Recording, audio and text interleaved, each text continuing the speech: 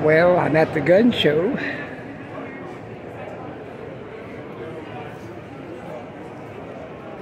And that's all you see. so I was walking along finding something. I already found two guns I might buy. Let me see here. Hmm. Yeah, out all the crap paper. Look at this. Look at the assault rifles.